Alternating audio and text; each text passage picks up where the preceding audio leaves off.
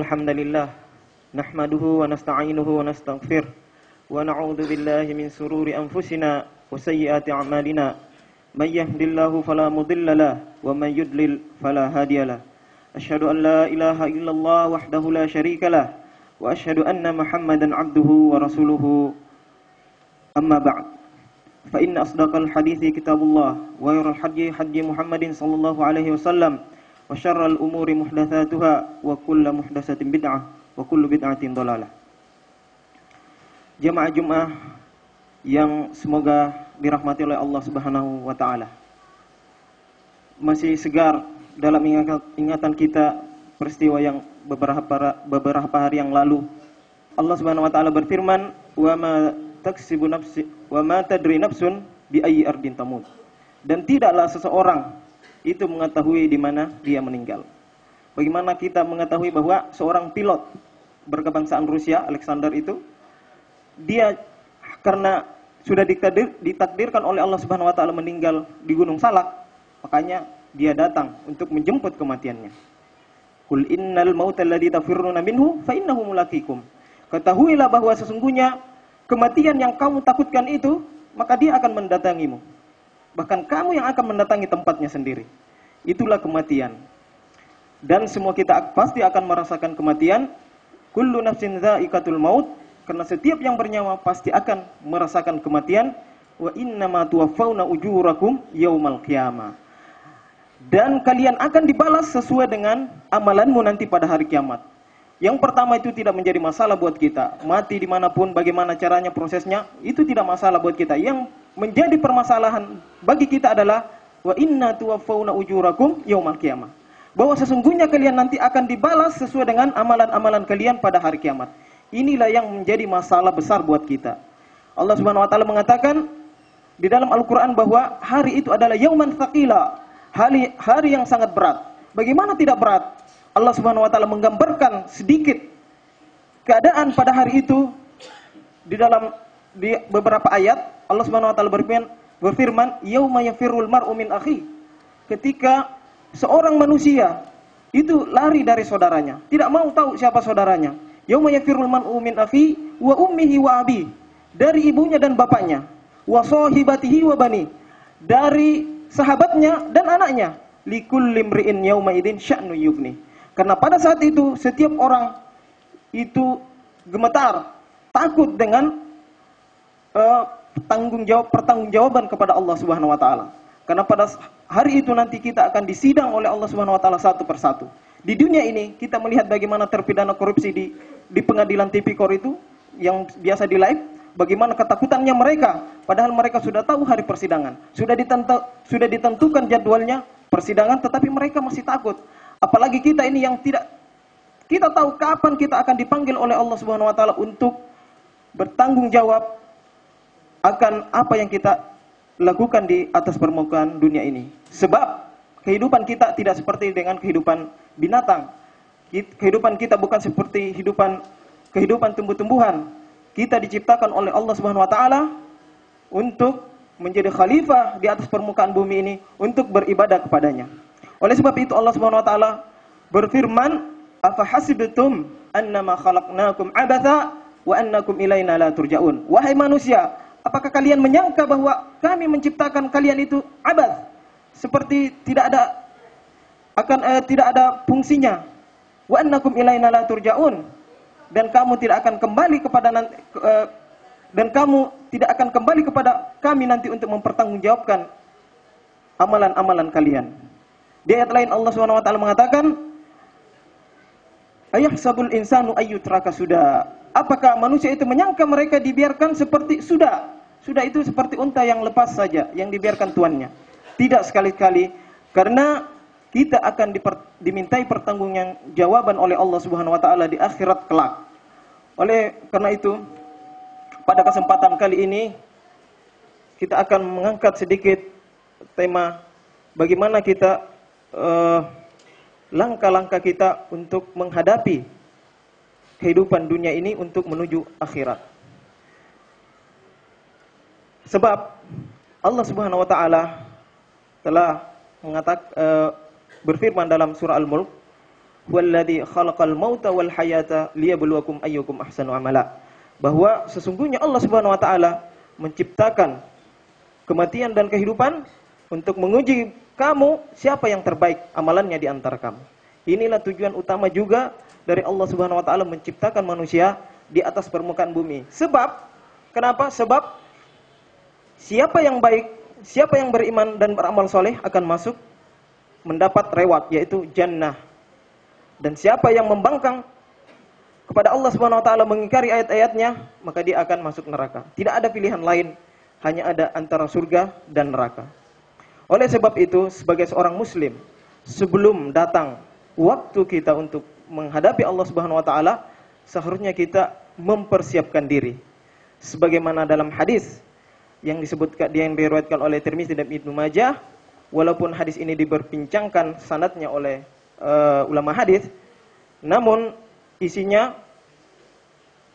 sesuai dengan Al-Quran dan penjelasan-penjelasan yang pernah disampaikan oleh Rasulullah SAW, yaitu dalam hadis yang disebutkan al-kayyisu man dana nafsahu wa amila lima ba'dal maut.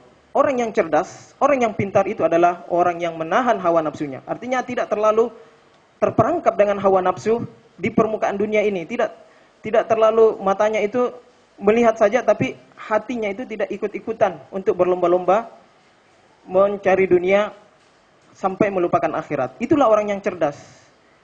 Yaitu orang yang menahan hawa nafsunya wa amila lima ba'dal maut dan dia bekerja untuk hari akhirat, bukan untuk yang sekarang. Karena kalau kita bekerja untuk akhirat, maka kita akan mendapatkan yang sekarang.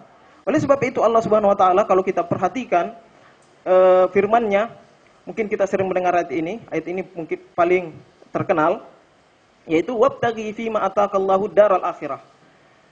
Maka carilah bagimu apa yang diberikan oleh Allah Subhanahu wa taala itu untuk mendapatkan akhirat. Artinya kalau kalian diberikan rezeki, umur yang panjang kesehatan itu cari untuk mendapatkan amalan akhirat. Itu makanya dipakai ibtagha yabtaghi, cari.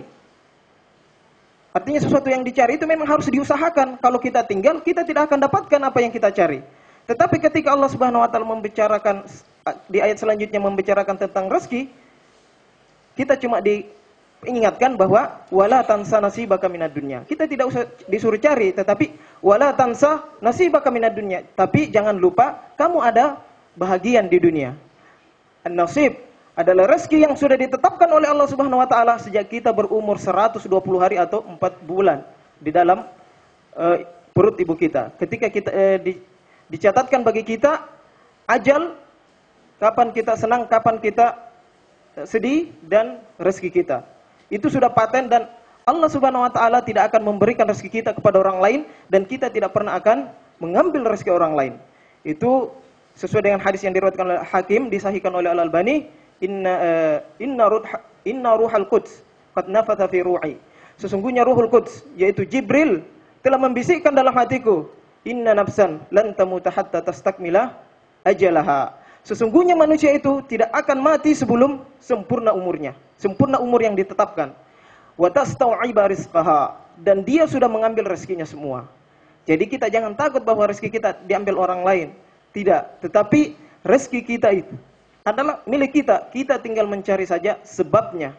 Sebabnya, sebab itu di dalam Al-Qur'an kita tidak akan mendapatkan ada lafaz yang secara sarih atau secara jelas untuk menyuruh kita mencari dengan kata-kata cari, carilah rezeki, itu tidak ada.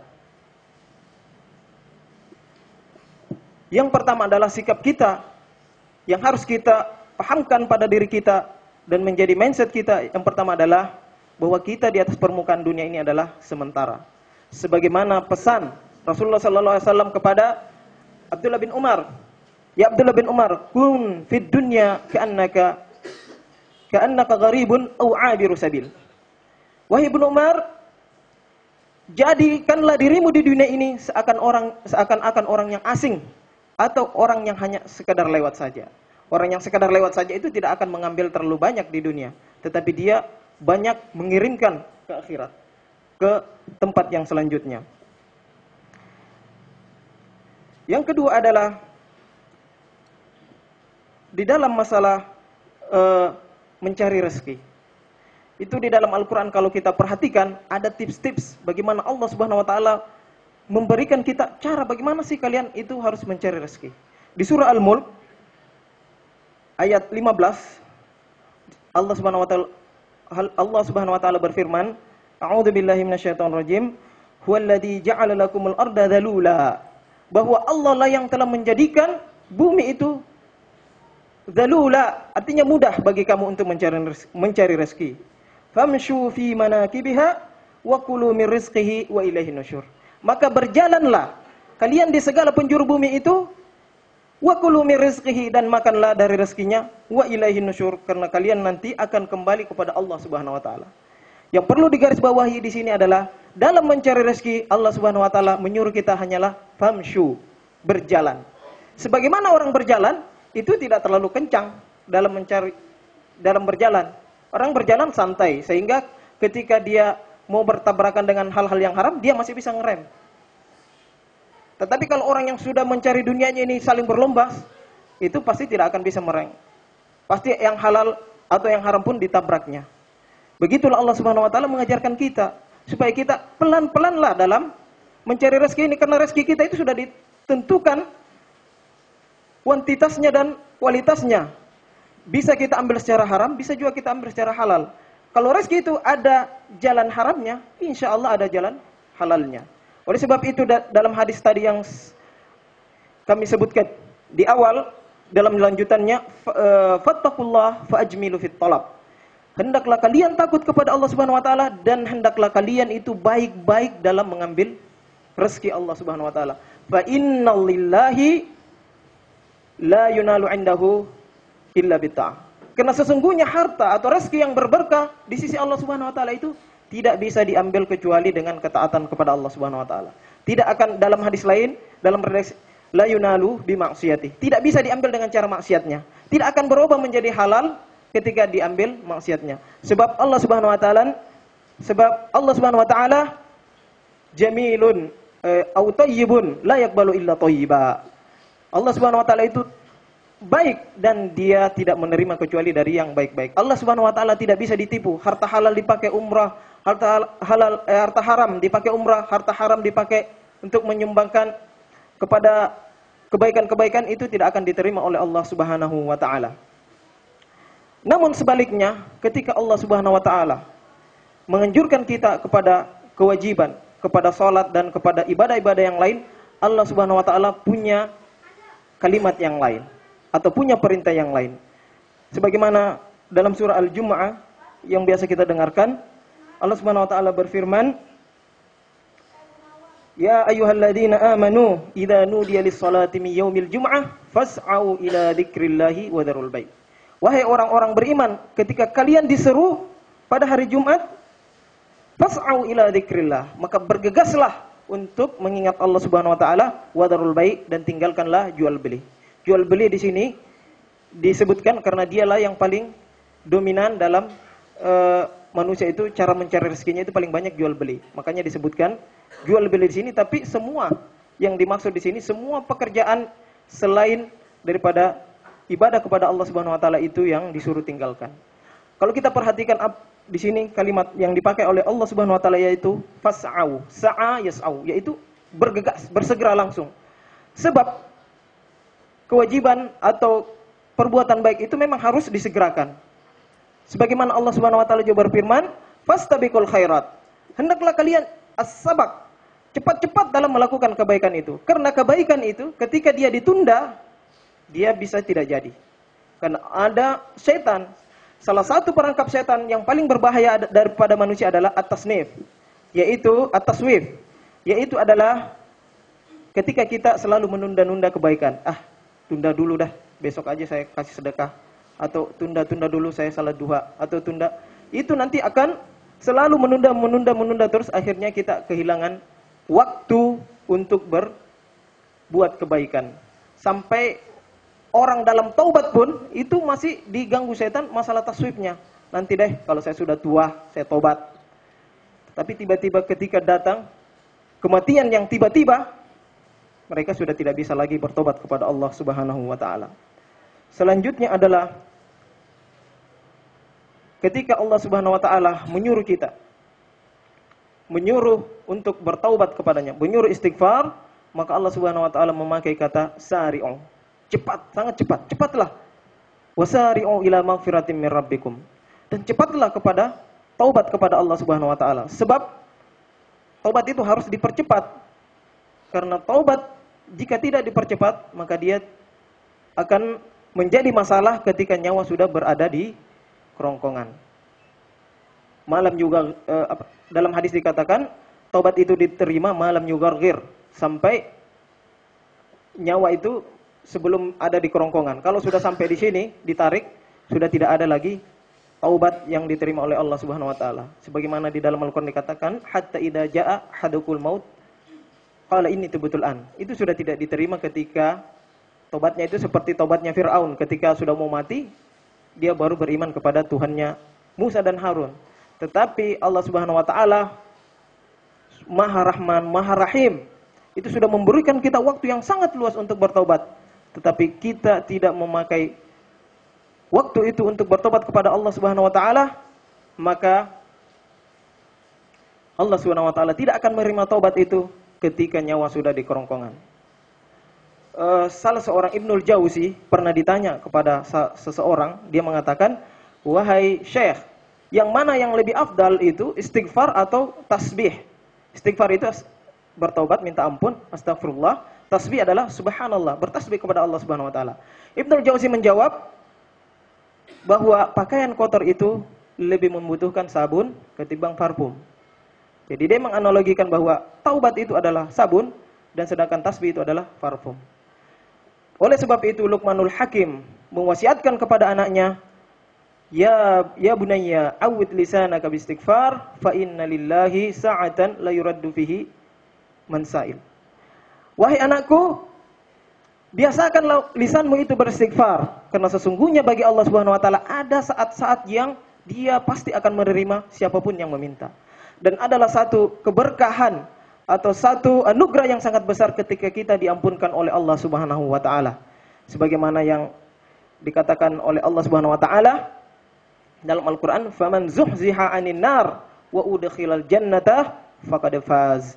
Dan siapa yang diselamatkan oleh Allah Subhanahu wa taala, diampunkan oleh Allah Subhanahu wa taala yang sebenarnya harus masuk neraka tetapi dia sempat minta ampun, dikeluarkan dari neraka dan kemudian dimasukkan ke surga, maka itulah sebenar-benarnya kemenangan yang diberikan oleh Allah Subhanahu wa taala kepadanya. Selanjutnya adalah fafirru ilallah. Fafirru ilallah. Bersegeralah atau larilah kepada Allah Subhanahu wa taala. Kata-kata farra yafirru ini kalau dalam bahasa Arab itu dipakai ketika seseorang lari dari sesuatu yang menakutkan. Misalkan lari dari singa, lari dari eh, binatang-binatang uh, yang berbahaya atau berbisa, itu yang disebut farra, berlari. Maka begitu pula kepada ketika kita melakukan dosa kepada Allah Subhanahu wa taala, hendaknya kita berlari kepada Allah Subhanahu wa taala dan langsung melakukan kebaikan sebagaimana yang disebutkan dalam uh, tafsir Al-Qurtubi bahwa yang dimaksud dengan uh, fafirru ilallah yakni firru min ma'asihi ila ta'atihi. Lari-lari dari dosa-dosa dosa-dosa kepada Allah Subhanahu wa taala menuju ketaatan kepada Allah Subhanahu wa taala. Barakallahu li wa lakum fil Qur'anil azim wa nafa'ani wa iyyakum bima fihi minal ayati wa dzikril hakim. Qawli hadza wastaghfiruhu innahu huwal ghafurur rahim.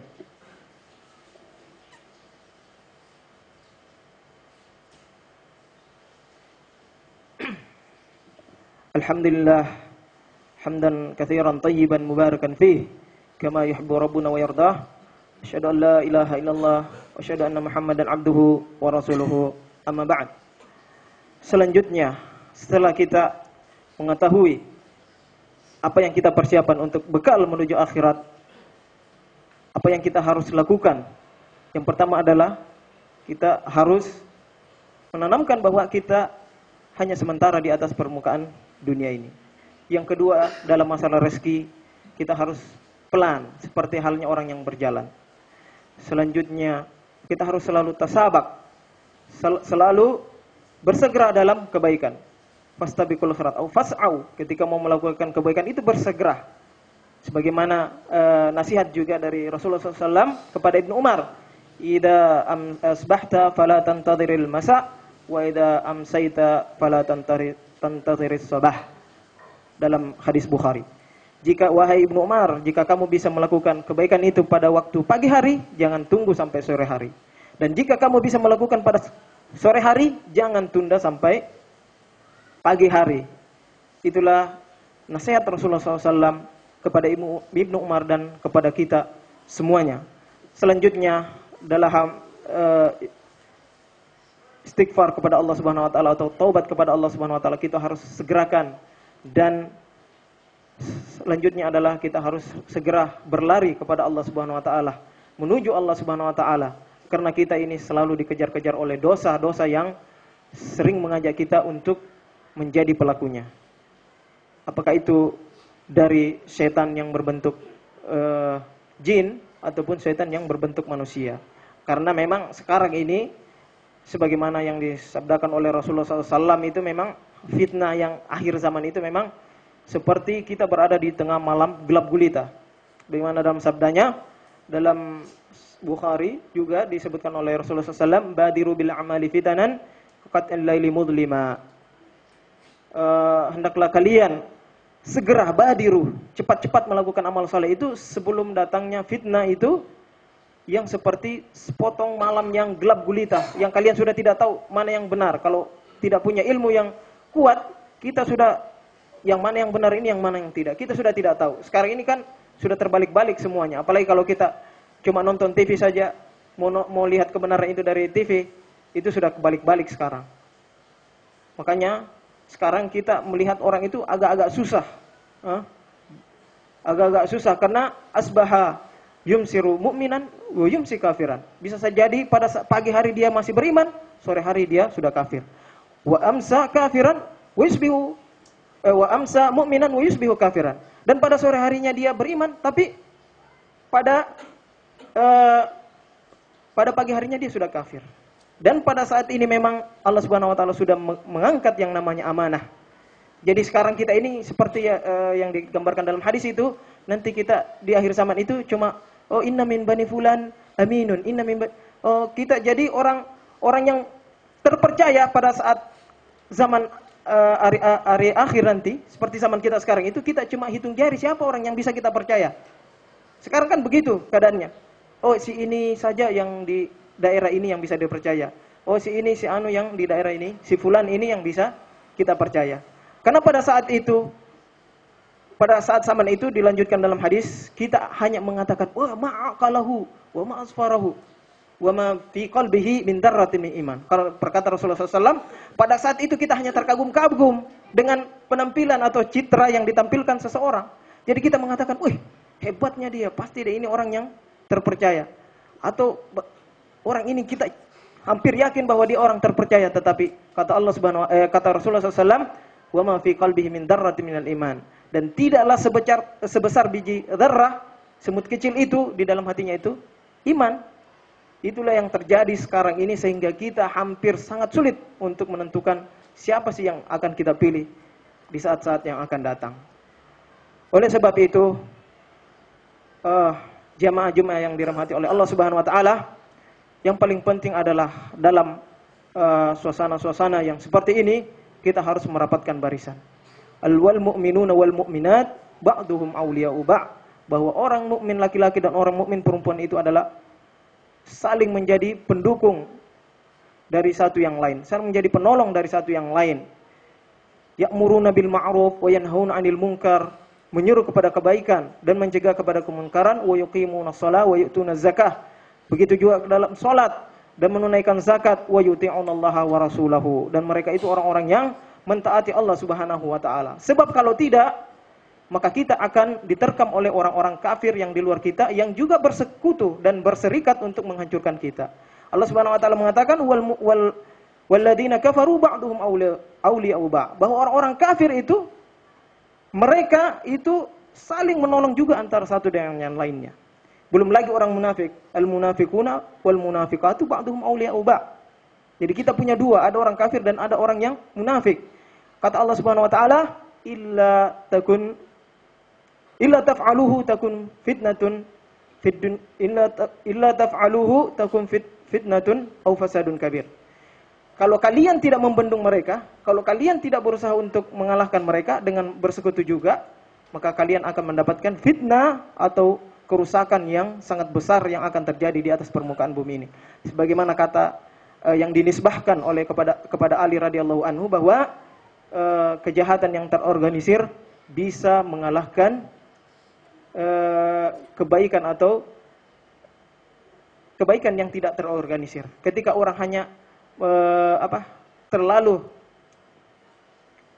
apa keinginannya itu kesalehannya itu hanyalah kesalehan individu, tapi tidak mengajak orang lain dalam kebaikan-kebaikan yang seperti yang ia lakukan.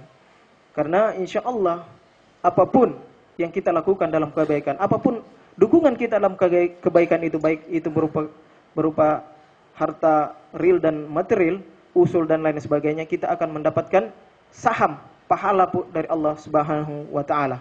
Olehnya itu sebagai kaum muslimin hendaknya pada saat-saat sekarang ini, saat-saat fitnah melanda kita, di mana-mana kita sudah kalah kita sudah hampir habis partai Islam sudah hampir habis tidak ada yang bisa diharapkan di uh, ekonomi juga kita belum bisa banyak melakukan hadangan terhadap ekonomi-ekonomi neoliberal atau kapitalis.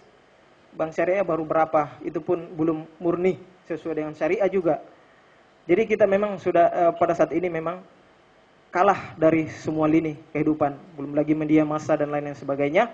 Oleh sebab itu, pada masa-masa seperti ini, masa-masa sulit, hendaknya kita merapatkan barisan, satukan langkah, dan yang paling penting adalah kita harus merujuk kepada Al-Quran dan Sunnah Rasulullah Sallallahu Alaihi Wasallam. Inna Allah wa malaikatahu yusalluna ala nabi Ya ayyuhalladzina amanu sallu alaihi wa sallimu taslima Allahumma salli ala Muhammad wa ala ali Muhammad Kama sallaita ala Ibrahim wa ala ali Ibrahim Wa barik ala Muhammad wa ala ali Muhammad كما باركت على إبراهيم وعلى آل إبراهيم إنك حميد مجيد اللهم اغفر للمسلمين والمسلمات والمؤمنين والمؤمنات الأحياء منهم والأموات إنك سميع قريب مجيب دعوات وقاضي الحاجات اللهم أرنا الحق حقا وارزقنا, وارزقنا اتباعه وأرنا الباطل باطلا وارزقنا اجتنابه ربنا آتنا من لدنك رحمة وحي لنا من أمرنا رشدا. ربنا هب لنا من أزواجنا وذرياتنا قرة أعين وجعلنا للمتقين إماما. ربنا آتنا في الدنيا حسنة وفي الآخرة حسنة وقنا عذاب النار. عباد الله إن الله يأمركم بالعدل والإحسان وإيتاء ذي القربى وينهى عن الفحشاء والمنكر والبغي يعظكم لعلكم تذكرون. ولذكر الله أكبر والله يعلم ما تصنعون. قوموا إلى صلاتكم.